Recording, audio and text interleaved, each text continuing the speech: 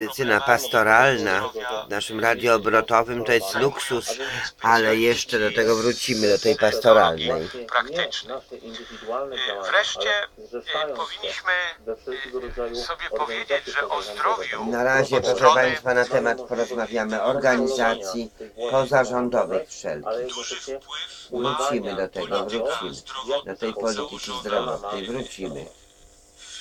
Szanowni radiosłuchacze, Tak, także proszę jak być z nami wiemy z koniecznie. doniesień medialnych w Sejmie, e, Troszeczkę na procedowana temat jest, Sejmu, e, troszeczkę procedowany na jest, temat e, hitlerowców, poselski proszę projekt Państwa. ustawy, którym mają Czemu ten nastąpić Pius zmiany Maryja, XII właśnie PKO błogosławił drugi oddział Hitlera. Toruń. tej, e, Tak. Numer ustawy 69, są takie zmiany, 10, które 20, e, 50, patologii, 11, które powstają przez 00, powód działań 00, mają dać, y, 96, mniejszy udział 02, obywateli w procesie 00, wybierania i 12, funkcjonowania 91, 30. Niestety, tylko Powtarzam, PKO od drugi oddział Toruń, obawiają się właśnie tych 69, zmian ustawy o 10, samorządzie i 20, zastosowali 50, 11, w sprawie proponowanych 00, zmian w kodeksie wyborczym 00, oraz ustawy o samorządzie 96, gminy, 02, powiatu i województwa. 0012 91 30. przyjęła ten apel, ale głosami radnych Platformy Obywatelskiej uzasadnieniu czytamy, że zarzucają, że ustawa jest niemerytoryczna, jest upolityczniona, a tak naprawdę y, na razie są tylko prace, a upolitycznione jest, y, są działania włodarzy miasta Gdańska. Słuchają Państwo Radia Maria, jest godzina 21.30. Poprosimy raczej słuchaczy. To są powtórki w naszym radiu. Na temat samorząd stanów zagrożenia. Serdecznie zapraszamy do telefonowania 56. Niech będzie pochwalony Jezus Chrystus i Maryja, zawsze dziewica. Przed mikrofonem ojciec Grzegorz Moj. Drodzy Państwo, dziś e, w rozmowach niedokończonych podejmujemy temat zdrowie w Kościele i demokracji. W naszym studiu goście księża, ksiądz profesor Jan Przybyłowski, kierownik Katedry Teologii Pastoralnej i Nauk Pomocniczych Uniwersytet Kardynała Stefana Wyszyńskiego w Warszawie. Szczęść Boże. Szczęść Boże. I drugim gościem jest ksiądz dr Zenon Hanna z Pallotyn, dyrektor Kancelarii Rektora Uniwersytetu Kardynała Stefana Wyszyńskiego w Warszawie i prowincjał Pallotynów, e, Pallotynów w prowincjach Chrystusa Króla. Dobry wieczór, szczęść Boże. Tak, są dwie prowincje w Warszawie, zawsze to podkreślamy, że na wschód i na zachód jesteśmy podzieleni Palotyni, ale pozdrawiam wszystkich słuchaczy Radia Maria z całego serca. Chrystusa Króla, a druga? E, Zwiastowania Pańskiego to jest początek historii zbawienia, zwiastowanie Pańskie i Chrystus Król jako zakończenie. Mamy alfa i omega palotyńską właśnie w nazwach naszych prowincji polskich. Dziękuję. E, Dlaczego temat e, taki mm, zdrowie? E, No, to jest coś, co dotyka każdego z nas. To jest jedno z największych pragnień, które nam towarzyszy. Właśnie, I chyba obiekt mm, 100% życzeń, Aż jakie sobie składamy. Kiedy składamy sobie nawzajem życzenia, wtedy mówimy, życzymy sobie Pewnie przy każdej okazji. zdrowia, zdrowia. Do, do tego dochodzą jeszcze, że zdrowie jest, to wszystko inne już na pewno będzie. Jest ten dar zdrowia, którego sobie nawzajem życzymy. No jest taką dużą wartością, dużą wartością, niezależnie od tego, czy jesteśmy wierzący, czy niewierzący, e, gdzie żyjemy. No, zdrowie często, często jest takim, takim upragnieniem naszego, naszego, naszą tęsknotą, zwłaszcza w tych momentach, kiedy tego zdrowia nam brakuje. E, To jest to, co Mickiewicz tak bardzo e, w sposób taki znany wyraził na początku e, pana Tadeusza, że to zdrowie jest tym, czego najbardziej brakuje nam wtedy, kiedy zaczyna nam go brakować. Wtedy za, zaczynamy odczuwać, jak bardzo jest ważne. Więc ten temat można by powiedzieć, że z tej ważności zdrowia wynika. E, I tu warto sobie też na początku e, uświadomić wszystkim słuchaczom, że to słowo zdrowie, dlatego że jest tak ważne, e, w języku łacińskim to jest określane jako salus, zdrowie, i to jest to samo słowo, którym określamy zbawienie w ogóle, czyli ta, pełnię życia, na, na którą czekamy w niebie i pełnia zdrowia, do której, do której, e, za którą tęsknimy, określana jest w języku łacińskim tym samym słowiem, słowem salus. to, to, to czego, czego najbardziej nam potrzeba. Więc to tak e, można by powiedzieć, że, że ten temat dotyka każdego z nas, jest tęsknotą każdego z nas, zwłaszcza wielu słuchaczy być może, którzy teraz są razem z nami gdzieś w szpitalach, e, w domach, samotni. No tęsknią i modlą się o zdrowie, a zatem no, ten temat może, może być bliski nam wszystkim. Natomiast tak tłumacząc już bardziej dlaczego właśnie w tej naszej audycji z księdzem Janem em, przypomnijmy sobie, że ta nasza e, audycja ona zawsze e, omawia jakąś jedną rzeczywistość naszego życia, jakiś aspekt, jakąś wartość istotną dla nas i próbujemy zobaczyć tę wartość w świetle tego, jak widzi ją Kościół, jak widzi ją Pismo Święte, Ewangelia, nauczanie Jezusa, albo to, co nazywamy społeczną nauką Kościoła, bo bardzo często do tego odwołujemy się, a z drugiej strony, w jaki sposób no, jest to postrzegane w świecie, w tym dzisiejszym, współczesnym świecie, i to, co możemy nazwać taką demokracją, bo, bo ten model życia jest dość e, no, dzisiaj bardzo rozpowszechniony i dlatego ta druga część naszych audycji zawsze jest nazywana jako demokracja, czyli Kościół i demokracja. I w tych dwóch wspólnotach, w tych dwóch e, sposobach widzenia świata, e, no in, inaczej nieco widzi się pewne rzeczywistości i przypomnijmy sobie, że przez te już ponad trzy lata naszych spotkań A inne jest wartościowanie w kościele są zdrowia, a inne. Tak, tak, dlatego i o tym dzisiaj chcemy powiedzieć, że, że ta wartość zdrowia widziana jest w Kościele nieco inaczej, w innym świetle, ma trochę inne zabarwienie, aniżeli to, co nazywamy zdrowiem, tą rzeczywistością zdrowia, no w takim, no w demokracji w No bo czasami pytanie, czy zdrowie określa człowieka, tak? Czy to jest troszeczkę inaczej i tu, i tu. No jest się to- tak wartościuje człowieka bardziej czy mniej przydatny, nawet tak, prawda? Ze względu na, Można by na zdrowie. że człowiek zdrowy w świecie wydaje się, że, że jest ten, który jest zdolny do pracy, ma wyższą wartość. No Pan Jezus, Ewangelia by powiedziała, że właśnie ci, którzy są chorzy, ci, którzy są słabsi, to ich, oni są uprzywilejowani w Królestwie Bożym i wymagają więcej troski i, i, i mają swoją wartość i znaczenie. A więc o tym, o tym w ten wieczór chcemy a z drugiej strony, tak jak was słuchałem, no nawet ta kruchość życia, albo, albo to, że ktoś jest w słabej kondycji, jest, jest chory, to nie znaczy, że wielkich dzieł nie może dokonywać, że nie jest w takiej bliskiej relacji do Pana Boga, e, prawda? Bo tam też ten, ten kwestia grzechu, zdrowia, Tak, to, łaski y, Bożej, że nieraz tak by nam się wydawało, że, że Bóg nam błogosławi i dlatego mamy zdrowie, a jak ono jest kruche, jak coś szwankuje, albo w ogóle od, od samego początku słaba jest nasza kondycja, to tak jakby Pan Bóg y, gdzieś zakrył oczy, nie patrzy na nas. No to jest, to jest o, czym, o czym w pierwszej audy, w części audycji rozmawialiśmy, to na początku warto to sobie tak uświadomić, że e, ta medycyna współczesna, zatroskanie o zdrowie w świecie w tak, e, współczesnym e, bardzo często jest wynikiem, że zdrowie jest traktowane jako wynik pewnego, pewnych naszych zabiegów ludzkich, terapii, podawania leków, e, opieki lekarskiej, medycznej, dobrej diagnostyki. Jeżeli to wszystko zostanie spełnione, wtedy człowiek na pewno już będzie zdrowy. E, Natomiast no, choroba jest takim stanem, który, który wymaga leczenia i właśnie to leczenie na tym polega, za pomocą leków i, i różnych terapii. Natomiast w Kościele, we wspólnocie ludzi wierzących, zdrowie jest czymś więcej. I, I ta możliwość uzdrowienia, to, że Pan Bóg ingeruje w nasze życie i te nasze komórki ciała, które są, które czasami właśnie jakoś tam buntują się i przeciwko biegowi natury i, i rozwijają się nie tak, jakbyśmy tego pragnęli, że Pan Bóg może jednak zaingerować i te, to, co czytamy w Ewangelii, te uzdrowienia Pana Jezusa e, z różnych chorób, a nawet wskrzeszenia, to nie jest tylko opowieść, która była dawno temu, tylko że dzisiaj te, te, te uzdrowienia są możliwe we wspólnocie Kościoła. E, przy czym zawsze we wspólnocie Kościoła i w Ewangelii e, uzdrowienie ciała było traktowane przez Pana Jezusa jako znak tego, że jest On w stanie uzdrowić też naszą duszę, uleczyć nasze, nasz, no, z grzechów. E, Ta, ta Ewangelia, w której uzdrowiony został paralityk i Pan Jezus bardzo wyraźnie wtedy powiedział, że teraz wstań i idź na znak tego, że zostajesz uwolniony od Twoich grzechów.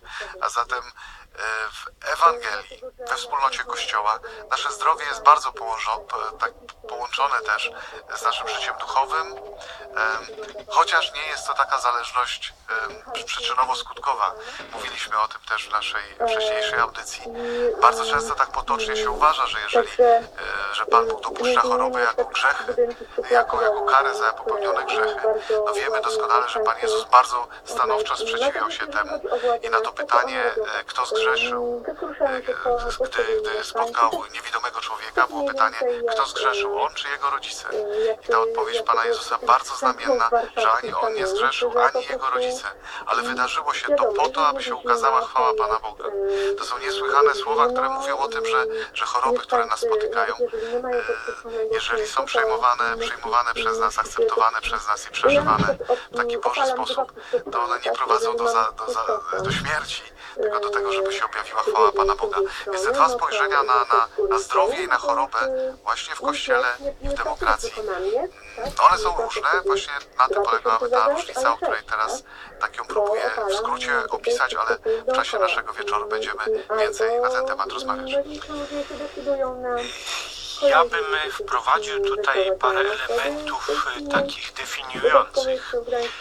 Otóż e, zaplanowaliśmy kilka audycji poświęconych tej problematyce i to jest taki temat wprowadzający, bo e, zwyczajnie człowiek nie docenia zdrowia właśnie dopóki, dopóki jest zdrowy i tu już to powiedzieliśmy e, w tej fraszce Kochanowskiego też jest e, o tym mowa, że dopóki zdrowie jest to nie ma problemu, ale no właśnie kiedy się to zaczyna psuć, człowiek zaczyna to zdrowie doceniać. No I w tej audycji telewizyjnej ja podkreślałem, że mamy tysiące chorób w tej chwili, a dzięki diagnostyce i odpowiednim aparaturom przypuszczalnie tych jednostek chorobowych będzie jeszcze więcej, ale ma tylko jedno zdrowie. I Dzisiaj będziemy się starać trzymać tego tematu zdrowia, chociaż temat choroby i tego, co jest przeciwieństwem zdrowia, będzie nieustannie gdzieś się tu pojawiał, ale chcemy dzisiaj ten cykl programów poświęconych e, tej kondycji człowieka jako człowieka rozpocząć od zdefiniowania, czym to zdrowie jest. I tu należy się odwołać do takiej prostej definicji e, e, WHO, czyli Światowej Organizacji Zdrowia, która określa go jako stan pełnego fizycznego, umysłowego i społecznego dobrostanu. Pozytywne ujęcie, dobrostan, e, takie no, zapoznane słowo w języku polskim, rzadko używane e, w codzienności, ale przy okazji zdrowia trudno znaleźć lepsze określenie niż właśnie dobrostan, czyli dobry stan człowieka w tych różnych jego e, obszarach e, bycia człowiekiem, funkcjonowania. Czyli e, zdrowie to nie jest brak choroby czy niepełnosprawności, bo zdrowym może być człowiek, który posiada różne defekty. E, Zdrowym może być człowiek, e, który ma również problemy psychiczne, ale e, duchowo się rozwija, e, ćwiczy e, też swoje ciało i odwrotnie. e, Tam, gdzie brakuje człowiekowi w jednej w jednym obszarze będzie mógł rozwijać inne swoje zdolności, żeby to, co nazywamy zdrowiem, czyli tym dobrostanem zachować. Oczywiście my z pozycji e, Kościoła, z pozycji chrześcijaństwa, e, z pozycji katolickiej nauki społecznej mówimy, że e, najważniejszym e, elementem zdrowia jest czynnik duchowy. E, Tutaj w tym określeniu e, pierwotnym tego wymiaru duchowego nie było. On później się pojawił w kolejnych wersjach tej definicji, ale dodano też sprawność do prowadzenia produktywnego życia społecznego i ekonomicznego, czyli w pełnym tego słowa znaczeniu zdrowym jest ten człowiek, który nie tylko dobrze się czuje, ale ten, który jest zdolny do bycia w normalnych relacjach społecznych, to jest człowiek, który może podjąć pracę i y, zapracować na własne utrzymanie. Y, I y, to jest człowiek, który ma centrum miasta Gdańska, w dworze Artusa, władze umysłowe, sam prezydent e, do funkcjonowania na, na, Ale e, jest jak jako jest.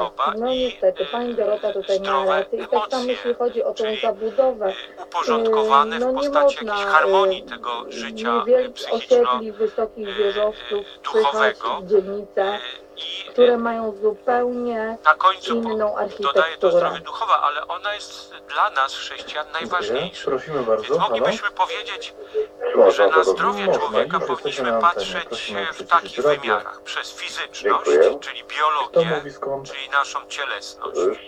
Przez naszą psychikę, czyli za funkcje e, psychiczne, e, czyli z jednej strony umysł, zdolność logicznego myślenia, a z drugiej strony emocje uporządkowane, pozwalające nawracić sobie ze stresem, z lękiem, z depresją, z agresją zewnętrzną.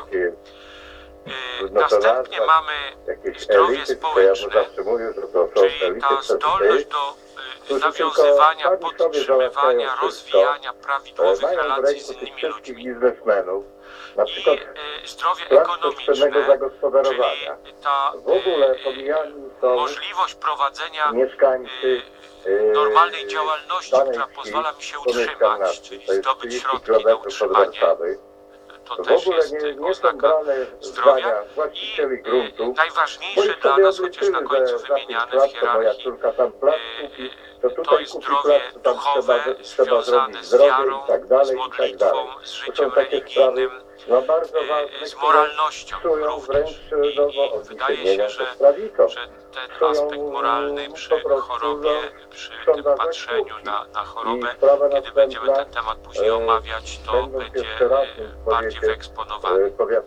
Więc e, kiedy mówimy zdrowie, to powinniśmy też e, mieć świadomość, kiedy życzymy komuś zdrowia, przegranych to życzymy właśnie w tych różnych obszarach tej harmonii, tej, tej możliwości korzystania z tego, czym człowiek został obdarzony. Bo tu słusznie zauważył Zenon, że zdrowie trzeba od strony duchowej, od strony chrześcijańskiej rozpatrywać jako dar. Boże, Ale dar, który ma różne Proszę postaci no, w życiu człowieka. Czyli to nie jest tylko moje dobre samopoczucie i, na początku, że y, dobra kondycja fizyczna, ale to są te różne możliwości e, harmonijnego funkcjonowania w tych wymienionych tutaj obszarach. Mogą kończyć się tym właśnie, że nie e, dostają pracy. Również odwołując się do Światowej Organizacji Zdrowia, trzeba podkreślić czynniki, które wpływają na utrzymanie zdrowia, czyli tego dobrostanu nie Jakie to są czynniki według hierarchii, jaką e, podaje e, opisom, WHO? różnego rodzaju nazwom, e, Najpierw są to e, warunki środowiska, należy które nas nazywać po czyli imieniu. Jeżeli ktoś jest złodziejem, to trzeba mówić, że jest złodziejem, a nie, że tu, gdzie żyjemy, tylko i bo my wyłącznie się oddychamy powietrzem, bo my musimy się odżywiać, czyli mieć dostęp do zdrowej żywności. zabrać. Musimy mieć Bardzo warunki do odpoczynku. No to Nie jest ta, ta właśnie ekologia, czyli nasze otoczenie, On e, czyli to, Nie, na co często człowiek nie zwraca uwagi, bo Bardzo się cieszę, uważa, że, że to powinni serdecznie pozdrawiam ojca prowadzącego i, i Państwa szanowne studio. Tutaj Państwo mówią o Gdańsku, to Pan mówił pod Warszawy, jak, jak ludzie się czują. Natomiast ja chciałabym też taki krótki raporcik zdać z e, Warszawy. Zresztą wszyscy o tym wiedzą dzisiaj, chociażby komisja Każdy, kto prawda, e, kolejne posiedzenie e, podstawowe zasady ma i, i e, cała właśnie Polska o tym wie. Natomiast chodzi mi o to, że wykorzystywania Polska do, samorządy, no, do porządku, ogrzewania ale jakby należy się zastanowić, czy w ogóle dojrzeliśmy do samorządów. Bo u nas jest to nieszczęście, po że prawo, no bo od prawo to początku reguluje, rządzi Platforma, która dopuszcza jedne no, środki do ogrzewania inne nie. Tak to on Dobrze, jeśli Sam ludzie, dla siebie najpierw na przykład ona sobie od razu załatwiła I później czynniki e, te, te genetyczne na drugim miejscu stawia do rąk komunalne to, mieszkanie, człowiek po prostu e, rodzi się zaczęła które realnie je sprzedawały. Nie patrząc, czy potrzeba dla repatriantów, czy dla tych, które prywatyzowali, po prostu wyspelowano na pniu i tu każdy jest inny, dlatego my nie możemy powiedzieć, że mamy budowało. I potem e, środek, który zadziała tak samo leczniczy na wszystkich. się e, zastępców prawnych, Jeden, to nawet byśmy zmysły zbadali. Jeden ma taki sposób patrzenia, chociaż wszyscy mamy oczy, ale każdy inaczej widzi, inaczej słyszy. I, potem, bo, i y, to jest ta indywidualność, czyli genetyka to, jest, to, to nie jest tak, że jesteśmy zdeterminowani. I teraz ci ludzie, dlaczego Genetyka to nie jest determinacja, tylko ja po prostu taki tak jestem. Ale nie jestem ani zły, ani dobry, po prostu taki jestem. Genetyka nas nie determinuje. My po prostu jesteśmy stworzeni, każdy w sposób jednostkowy i doskonały. W tym obrazie stworzenia nikt nie jest upośledzony u samych początków. Więc e, e, tu nie możemy traktować, że ktoś jest bardziej wytrzymały, drugi mniej na, na choroby, czy, czy, czy ma lepsze, czy gorsze zdrowie, bo niektórzy też tak mówią. No I tutaj myślę, jakby tak mówić przewadze, no, no właściwie przy dobrym spojrzeniu to spojrzenie Kościoła na każdego człowieka, a ta demokracja już tak widzimy utyka, czy nawet kuleje, to jakaś taka proteza prawdziwej wolności, prawdziwego y, stawania na straży godności każdego człowieka. Tak, tak, to często się podchodzi właśnie w sposób determinujący, że no, y, y, no on taki został łomny, stworzony i dlatego ma małą odporność, czy, czy jakoś niewłaściwie ten geny ułożony, no, My patrzymy, że taki jest człowiek, pamiętam jednego, jednego z posłów, jak była taka debata, gdzie nastąpił e, jak zepsuje się kran, to tak, muszą Ocen, iść do administracji wspólnoty, która na przykład ma przewagę w tym domu.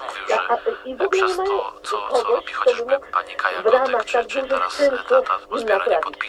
To jest po prostu jakiś skandal, który po cichutku e, prawda, się toczy. Natomiast a propos reprywatyzacji, bo ja wtedy to panu bardzo pozdrawiam posła i pana Pawła Wyszyckiego, który wtedy, kiedy zaproponowano mi zwoływać Widelce nam wskazuje.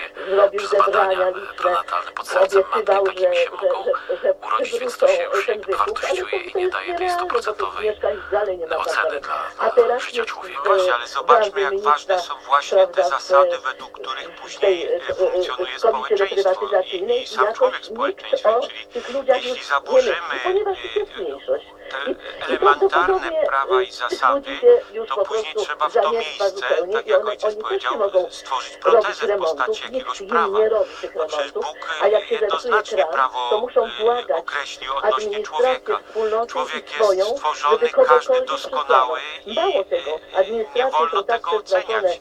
I mają myślę, takie że, że te czynniki genetyczne tak, tak? trzeba rozumieć też, jednej pani, że tu nie ma y, y, gorszego, bo, bo jest upośledzony, jak to niektórzy mówią, intelektualnie to już jest y, ktoś, mają być tylko z kim społeczeństwo będzie mieć problem, a on może to społeczeństwo niesamowicie ubogacić, jak, i każdy inny. Więc traktujemy każdego człowieka jednostkowo jako, jako kogoś, kogo Bóg zaplanował, zamierzył i włączył swój plan stylu mieszkań w takim razie.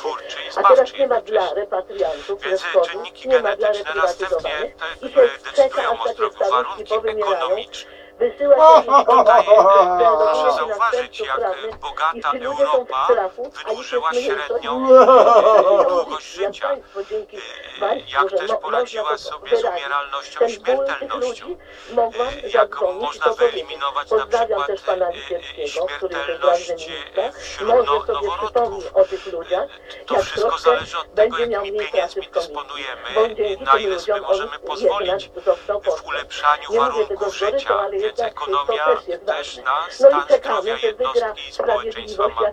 Dalej, Sasin powinien być w- Światowa według mnie Organizacja u mówi nas o w poziomie Warszawie, wykształcenia. e, zwyciężyć. My tego też nie doceniamy. Wtedy to były i- jakieś i- sfałszowane te wybory. Ja sama to widziałam. Każdy uważa, żeby jak I my- najszybciej męczymy. skończyć i zacząć pracować. I tacy, A którzy nie to, będzie musi głosować na iść też Platformę harmonijni. Platforma u- Właściwie można powiedzieć, że każdy wszystko, człowiek ułatwiła powinien do ludzi końca i się teraz uczyć. ma No mam swoich nadzieję, że te nasze Mówię audycje to też trochę trochę z są goryczą tak i traktowane jako serdecznie dziękuję za możliwość państwa audycję. uzupełnienia Gdańsk e, pozdrawiam, wiedzy, piękne miasto, zapoznania widziałam w się z zeszłym pa- roku jakimiś październiku, jak informacjami, ryja w tym Gdańsku które i może, szóstych zabytków, rzeczywiście, bo rozświetlą byłam niektóre tam po 17 wątpliwości, latach. A, a myślę I- też, że wszyscy w rzeczywiście jakiś to sposób potrzebujemy też umocnienia, możemy tak, tak właśnie e, Tylko brakowało nam jeszcze jakiegoś Życzę wszystkiego Bo też się pewnie no słuchacze nasi, na, nasza rodzina Radia no Maria żeby nieraz musi przestały to, e, to w towarzystwo różnych naprawdę sprawach. się, Dziś mamy tak konkretnie żeby zdrowie. No, No właśnie, ale ten poziom wykształcenia też nie, dobre rozum, nie traktujmy tego tylko jako e, e, skończenie szkół. Wykształcenie to jest zdobywanie wiedzy, czyli ta otwartość, te, to jest ta ciekawość, która przeradza się w dociekliwość. Ja zawsze podkreślam, że e, ciekawość nie jest nauką, ale już dociekliwość, czyli poszukiwanie przyczyny i próba zdefiniowania, zrozumienia tego zjawiska, faktu, fenomenu, który Pozdrawiam też gorąco jest wokół Gdańska mnie, panią to już jest Mariolę. nauka i każdy Ale tę naukę rzeczywiście e, to, w co taki pani sposób też może wspomniała, uprawiać. że I toczą wiedza się zdobyta z doświadczenia, z własnych tych przemyśleń ludzi, jest tak którzy samo mieszkają właśnie w e, mieszkaniach potrzebna do tego komunalnych, ogólnego jest dobrostanu, prawdą. który nazywamy Y, zdrowiem. Kiedy Następnie jak ważny jakakolwiek czynnik wystąpi w stosunki tych mieszkaniach międzyludzkie, komunalnych, czyli najemcy e, w jakich mają ja relacjach ogromny żyję. Czy problem jestem jednostką uspołecznioną? Czy przeszedłem właściwy proces socjalizacji? żeby Czyli Czyli jestem naprawił, a to e, człowiekiem, który nawiązuje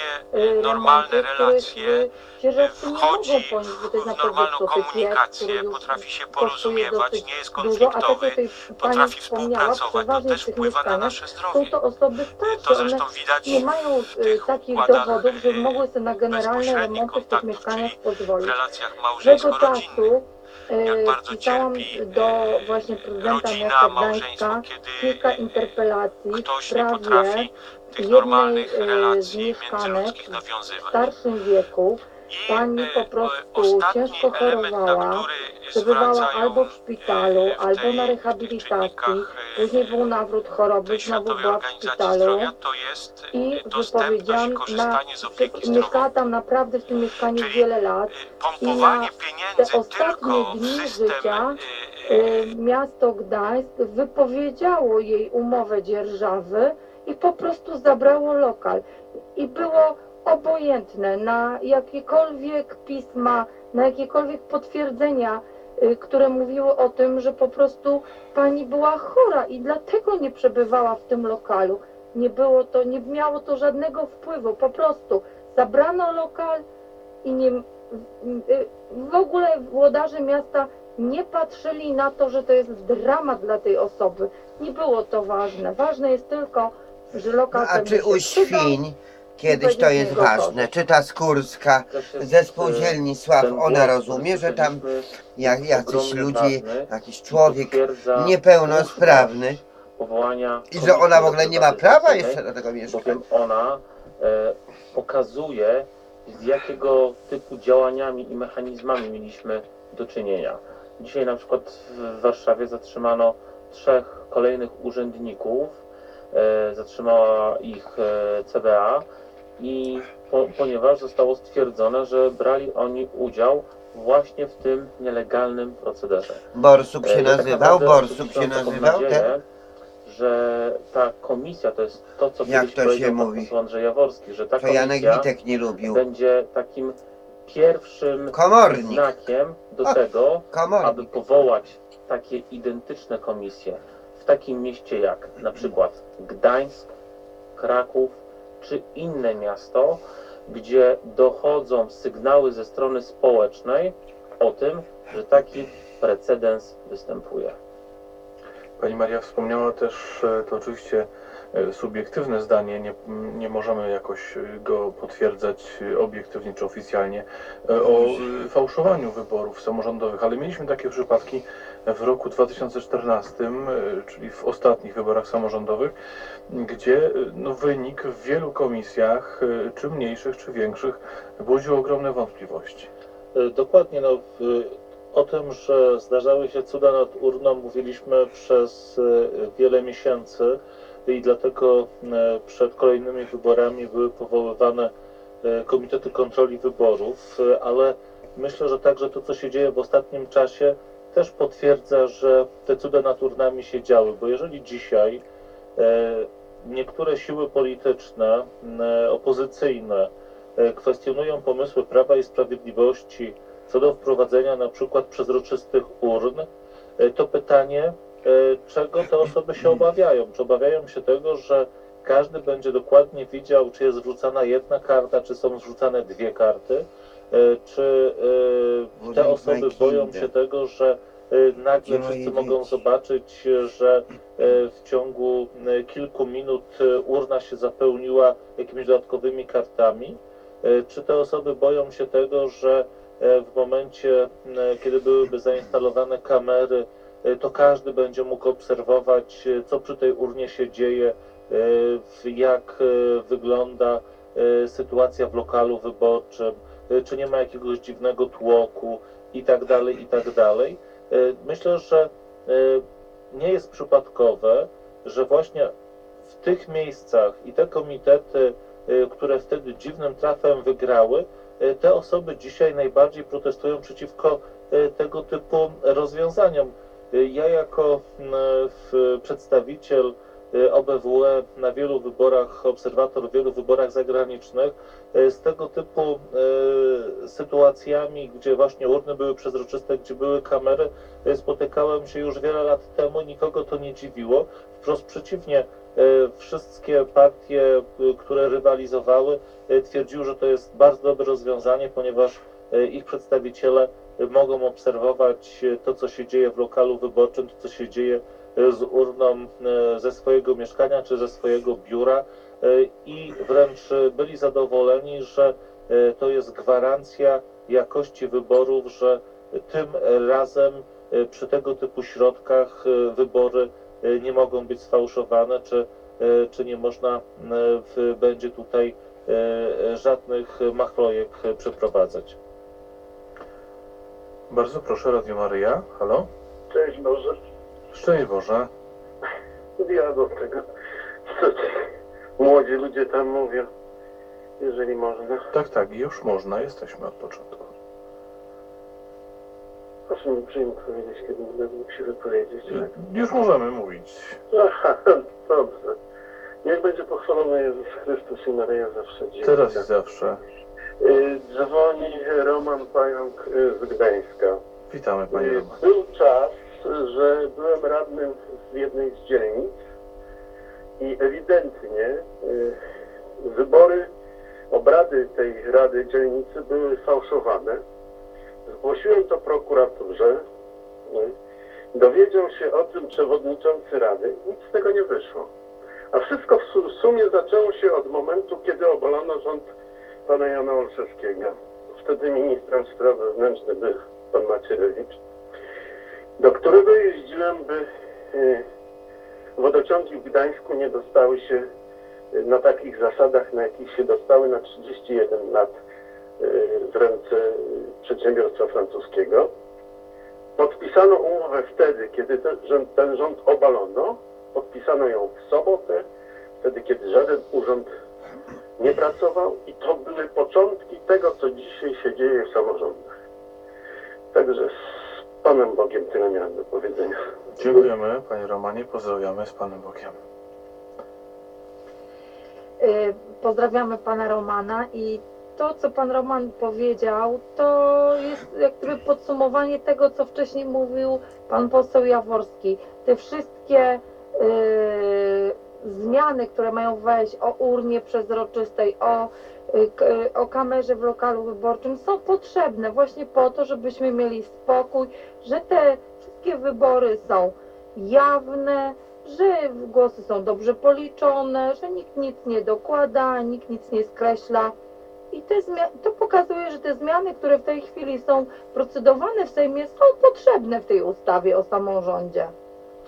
Pamiętajmy również o tym, że to właśnie podczas e, ostatnich wyborów samorządowych mieliśmy do czynienia e, w Polsce, e, ja to nazywam z tak zwanym cudem PSL-u. Nagle partia, która miała kilkuprocentowy, kilkuprocentowe poparcie społeczne, osiąga wynik tak naprawdę wygrywając te wy- wybory samorządowe w skali całego kraju. Zatem no, to, co moi e, tutaj pani Ania również wspomniała, jest naprawdę bardzo ważne, to co się teraz e, dzieje w polskim Sejmie i cała ta reforma e, samorządu terytorialnego, która jest dokonywana przez rząd Prawa i Sprawiedliwości.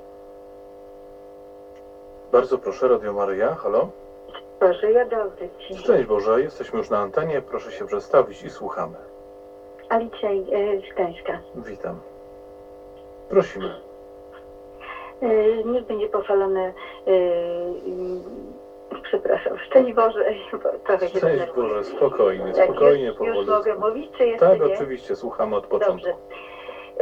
Tak, e, ja jestem, tutaj pozwoliłam się nazwać przedstawicielem dosyć dużej grupy, dosyć grubej, dużej grupy ludzi, którzy mieszkają między Olszynką a e, Maćkowy w Gdańsku.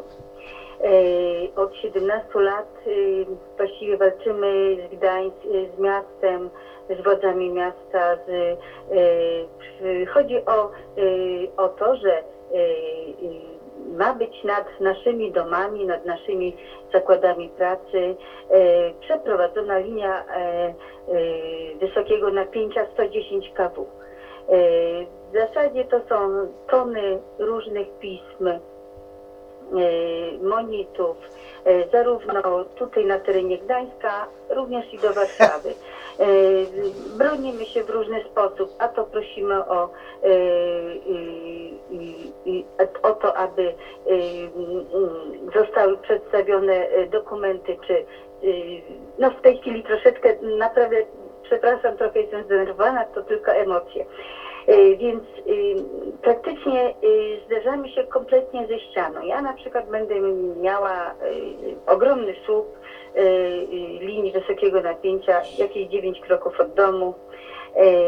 Moi sąsiedzi y, już mają z jednej strony linię 400, tak zwaną, będą mieli tą y, s- 110 kW dwutorową. Właśnie to jest w okolicach, to jest na terenie Olszynki. W okolicach y, y, Maćkowych y, jest osiedle, gdzie sąsiedzi będą dosłownie mieli za oknem linię wysokiego napięcia i to jest problem tak duży, to jest ogromna ilość ludzi, ponieważ na terenie Olszynki idąc ta linia idzie w kierunku właśnie Maćkowych, ta linia prze, prze, prze, będzie umieszczona nad domami, w pobliżu domów. Został utworzony tak zwany korytarz, pod którym i tak wszyscy będą mieszkać, pracować, bo tam są zakłady pracy, rodzinne zakłady pracy, więc y, to jest taka fikcja wielka z tym korytarzem. Y, My się wszyscy, wszyscy mieszkańcy zgadzamy się na przeprowadzenie linii y, wysokiego napięcia, ale w tych miejscach, gdzie są zabudowania, gdzie są zakłady pracy, żeby ona została poprowadzona w ziemi. Bo to jest nasze życie. Nasze być albo nie być. I to nie tylko moje, ale wszystkich właśnie, którzy na, na tych, niektórzy to już wpadają w, w rozpacz, kompletną rozpacz i znowu odwołują. To są stresy, sosy najróżniejszych pism e, do sądu administracyjnego, do sądu cywilnego, do y, y, no praktycznie nie ma odpowiedzi, zderzamy się ścianą. To jest bardzo poważny problem, a my jesteśmy bardzo, bardzo skromnymi ludźmi, obywatelami Gdańska. E, Właściwie wszyscy, wszyscy rozkładają ręce e, na, na nasz problem. E, Szczęść Boże, jeszcze raz dziękuję bardzo. Do widzenia. Bardzo dziękujemy, pozdrawiam Pani Dziękuję. Alicjo. E. Pani Alicjo, dziękujemy serdecznie za ten głos. To jest niewątpliwie ogromny problem, o którym Pani wspomina, ale problem, który tak naprawdę wynika z tego, o, którym, o czym my wspominaliśmy, czyli o planach zagospodarowania przestrzennego. Jestem pewien, że e, ze względu właśnie na to, w jaki sposób te plany są tworzone, jaka jest ich e, jakość i pewnego rodzaju taka nierozwaga ze strony e, gdańskich urzędników, ale również i e, włodarza miasta Gdańska, mamy taki, a nie inny przykład. E, Ja bym zachęcił. Panią do tego, aby najlepiej Pani skontaktowała się e, z radnymi Prawa i Sprawiedliwości z okręgu numer jeden, którzy zostali właśnie e, wybrani, bo podejrzewam, że to będzie najlepsza pomoc e, dla Pani tutaj, e, dla innych mieszkańców, aby można zobaczyć e, te plany zagospodarowania przestrzennego, wgryźć się w nie i zastanowić się, e, w jaki sposób ten Państwa problem e, można rozwiązać. Ja jeszcze tylko dodam, że tutaj kolejny raz mamy przykład, gdzie włodarze miasta Gdańska nie słuchają argumentów mieszkańców, tylko tak jak sobie tam zaplanowali, tak zrobią. Nieważne, że ktoś będzie mieszkał pod linią wysokiego napięcia, która na pewno ma niekorzystny wpływ na zdrowie. Jestem ciekawa, czy e, prezydent miasta Paweł Adamowicz chciałby, że koło, żeby akurat nad jego domem szła taka linia wysokiego napięcia. Na pewno by z, z, dokonał zmian z, planów zagospodarowania przestrzennego, bo wie, jakie to jest bardzo uciążliwe, ale bardzo proszę, żeby mieszkańcy się nie poddawali, pisali dalej i nie pozwolili sobie na to, żeby coś się działo wbrew ich woli. Proszę bardzo, Radio Maryja, halo. Nie będzie pochwalony Jezus Chrystus. Na wieki wieków amen. E, Czy jestem już na... Witamy, tak, jesteśmy już na antenie. E, te- Telefonuję z Krakowa i chciałam się włączyć do tej rozmowy. Uważam, że bardzo potrzebna jest w tej chwili, te, temat jest bardzo potrzebny i powinien jeszcze kiedyś zaistnieć na, na antenie. Dlatego, że problemy, jak widzę, są ogólne w Polsce. Między innymi w Krakowie podobne, a mianowicie zacznę może od y, tego, y, co Państwo mówili na początku. Y, No, chyba wszędzie stworzyła się taka sytuacja, że w Radzie Miasta, nie tylko i w urzędach, są osoby, które, że tak powiem, się zasiedziały na swoich stanowiskach i y, po prostu przestają myśleć o mieszkańcach, myślą tylko o jakichś tam swoich sprawach, planach, które chcą zrealizować, nie, nie zawsze koniecznie e, właściwe dla danego miasta. Widzę, że, że podobna sytuacja jest w Krakowie. Druga sprawa, Pań- Państwo mówicie o tych y, zabytkach y, w Gdańsku. No w Krakowie mamy mnóstwo zabytków i niestety zaczyna się podobna historia. A teraz y, ostatni przykład to jest koło y, na Błoniach, koło, koło y, domu Legionistów Piłsudskiego. Właściwie tu, tuż przy tym, przy tym domu Legionistów, z którego wychodziła kadrówka, z tam, właśnie z, tamtego, z, tamtej, z tamtej okolicy, wybudowano, no trudno powiedzieć co to jest, jakiś hotel, który dosłownie zagląda w okna zagląda w okna y, tego y, muzeum, bo to wszyscy, jakieś, to jest muzeum właściwie y, legionistów.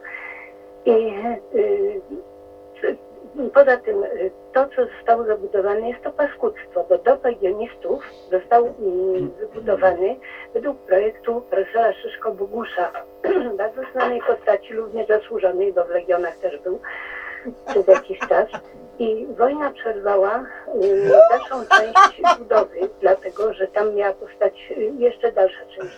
Są plany y, do ewentualnej rozbudowy tegoż Oj. obiektu. I co się stało?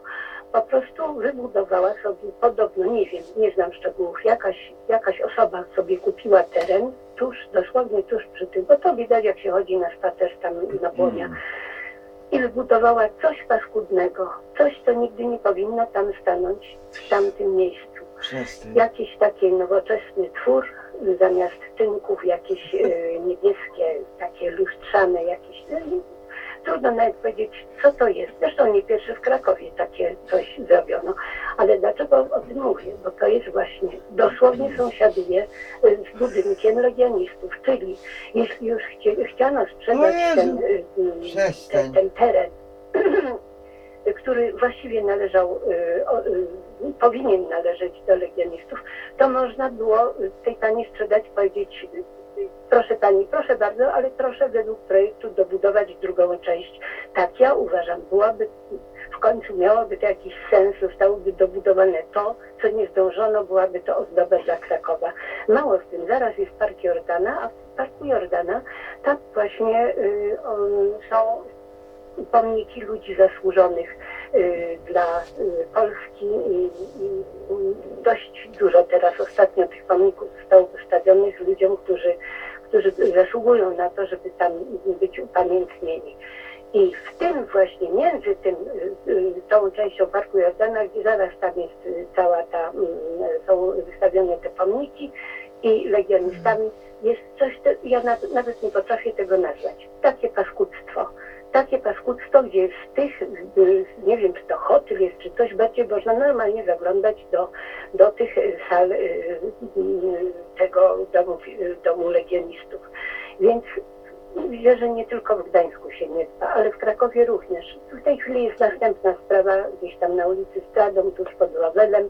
Znowu ktoś będzie budował hotel i tam jeszcze gdzieś w, w ogrodach są ruiny y, jakiegoś kościoła świętej Jadwigi, jak się okazuje, z bardzo ciekawą, z bardzo ciekawą historyczną przeszłością, bo między innymi ponoć król Jagiełek wyruszał na bitwę pod Grunwaldem, tam y, odprawiał msze i jakieś tam jeszcze inne sprawy. Są tam podobno ruiny, ale można było to odbudować, można było inaczej. Jest to, jest to normalnie y, jakiś, jakieś tam powiedzmy, y, no trudno być kamienicą, bo tam podobno za czasów austriackich były koszary, wszystko jedno. Tam też coś takiego ma po, powstać. Wiem, że jakieś są protesty, pewnie nic z tego nie wyjdzie. To a propos zabytków. A sprawa jeszcze jedna, bardzo ważna. Mieszkań komunalnych. W Krakowie też jest ich sporo. I, i jaka, jaka jest sytuacja? Wiele, no, oprócz tych kamienic, gdzie jeszcze są te, no, bardzo niewiele, te mieszkania komunalne, były wstawiane bloki, tak zwane komunalne. Te bloki powstawiały z naszych pieniędzy, ze społecznych pieniędzy. I to, co tam Państwo poruszacie. I za to, to wy, wyprzedawać na gminie te mieszkania. Nie patrzyli komu. Ludziom, którzy mieli gdzie indziej, mieli pod, pod Krakowem domy, nie tylko domy, trochę dalej domy i tak dalej. Natomiast ludzie, którzy rzeczywiście y, byli rodowitymi krakowianami, często przesiedlani ze śródmieścia do tych bloków komunalnych, dlatego że tam w pewnym okresie, w 70 latach to się zaczęło, była, y, zaczęły, zaczęły być remonty tych y, kamienic w śródmieściu. I ludzie, rodowici krakowianie, prze- przekwaterowani do tych mieszkań komunalnych. I teraz jest sytuacja taka, że y, ludzie, którzy mają jeszcze niewykupione te mieszkania komunalne, y, ponoszą jakie koszty? Bo za, może zacznę od tego, że ludzie, którzy mają wykupione mieszkania, płacą mniejsze czynsze. Natomiast ludzie, którzy mają niewykupione mieszkania, y, y, i w czynsz ich wchodzi między innymi administracja, y, y, ta, y, która obsługuje y, mieszkania wykupione, świnie. administracja kwaterunkowa i do tego jeszcze y, tam odpowiedni, nie wiem jak to się tam nazywa, czy jak-. W każdym razie y, odpowiednia y, komórka. Komórka. Urzędu Miasta. I te, te y, czynsze są wyższe, czasem Wyższe. znacznie wyższe od tego, co płacą ludzie, którzy mają mieszkania wykupione.